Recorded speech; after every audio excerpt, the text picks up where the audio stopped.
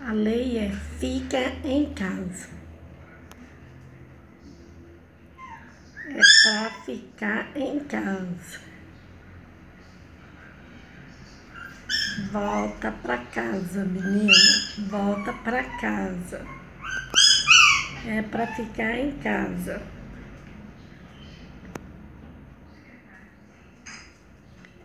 Porque você tá querendo passear. Volta pra casa.